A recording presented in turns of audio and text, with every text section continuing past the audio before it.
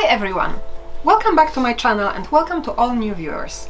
My name is Olka and I'm a UK-based vet and today I'd like to help you answer the question Should I let my cat go outside? Before I get to it, please like, subscribe and ring that bell if you enjoy my content. It really helps. Okay, so have you already got a cat? Or planning to get one and thinking about the logistics now? One of the big decisions to make as a cat owner is whether your cat will be an indoor or an outdoor pet. Let's dive in and try to make a little pros and cons list. Let's start with the good stuff. Okay, so entertainment. Obviously, the more variety in your cat's environment, the more stimulated it will be. Being confined in a small space all the time with very little change can be boring and frustrating. Going outside offers countless opportunities for your adventurous cat to play, explore new sights and smells, experience different textures and learn. If your cat goes outside, it will be able to display its natural behavior freely. Suppressing these can lead to stress and frustration. Your cat will be monitoring its territory, scratching, climbing and much more. Some believe cats which live exclusively indoors are more prone to destroying your furniture, carpets, etc. Okay, the next one is exercise. The more time your cat spends outside, the more chance it gets some exercise. In our modern society, obesity in our pets is more common than ever. In fact, over a third of cats in the UK are overweight. Regular physical activity helps battle that issue. So, what's the bad stuff then? Obviously, your cat can encounter a lot of dangerous situations outside. One of the scariest is the chance of a road traffic accident. Cats getting seriously injured or being killed by cars is extremely common. In a study from 2001, researchers found that 51% of outdoor access cats that died suddenly and unexpectedly died as a result of road traffic accidents. Another study from the same year discovered that road traffic accidents were the fourth most common cause of death for cats after old age, cancer and renal failure. Interestingly, the older the cat, the less likely it is to get hit by a car. Your cat can get into fights with other animals, most commonly other cats and dogs. These can result in injuries or even death. Most common reason for fights between cats is defending what they believe to be their territory. In 2013, Cats Protection logged that 32 cats were reported killed by dogs within a 4-month period, but they say this number is likely underreported anyways. Frequently forgotten dangerous factor would be various plants, toxins, poisons your pet can encounter whilst outdoors. You should research types of plants around your garden and in close neighborhood and make sure that by munching on them your cat won't get poorly. Ask neighbors what chemicals they might use in their yard as well. Cats which frequently go outside can have multiple families taking care of them without their primary owner even knowing. Friendly neighbor might have no idea that the cat they've been feeding for the last few weeks isn't homeless.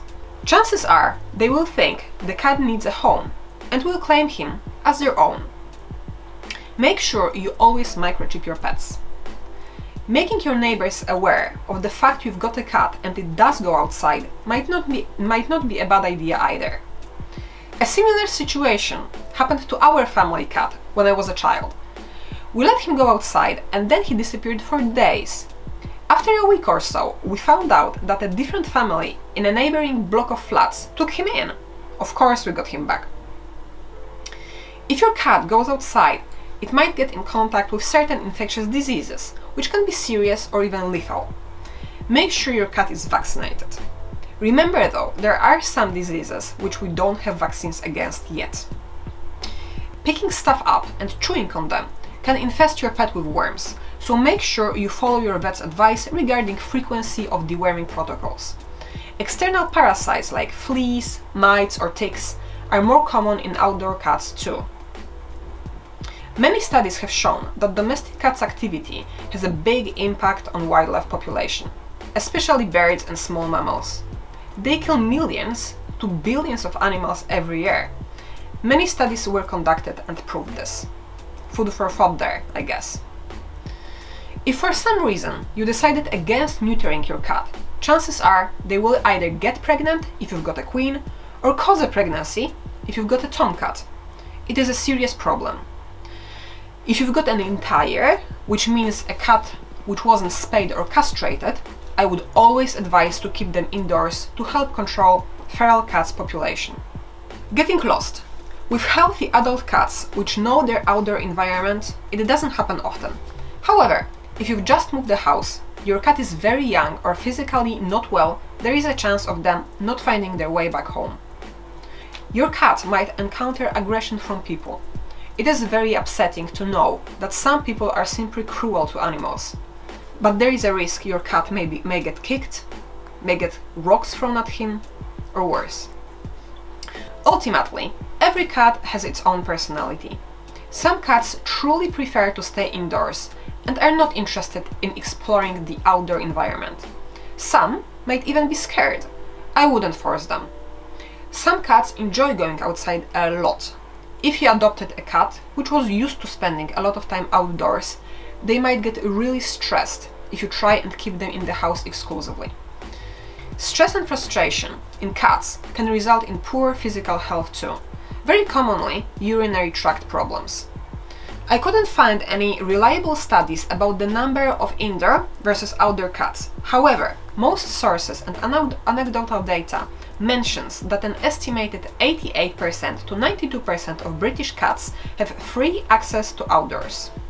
This number would align with my experience working with animals and their owners. It is much different in other countries around the world, with USA, for example, having more indoor than outdoor cats. To sum up, the answer to our initial question is complex and in my opinion should be approached individually on a case-by-case -case basis. Consider all the factors and your cat's personality and needs. Whatever the decision, there are certain ad advantages and disadvantages to both. And lastly, thank you for watching, like, subscribe and I hope I'll see you here again soon. Bye!